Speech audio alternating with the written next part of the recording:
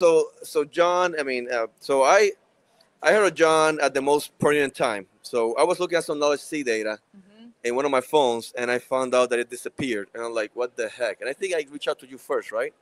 I think so. Or no, it was to You Geraldine. might have. Yeah, no, it was Geraldine. It was, Geraldine. definitely Geraldine. And she's like, well, like, there's some guy there. I don't know, Yep. some some dude, blue crew forensics. Maybe the blues for the police. I'm like, I don't know. It's, it wasn't. Yeah, yeah, yeah, we, we, we guess we guess right. it's a mouthful. yeah.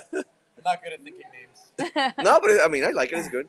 So, so John did some great work. The first person ever to work on, on the SEGB files in a forensic manner, uh, obviously outside of Apple. Yep. Um, and it was it was amazing work. It opened the doors for the whole community, the whole industry, to actually get back uh, Pattern of Life data. So, so we appreciate it, man.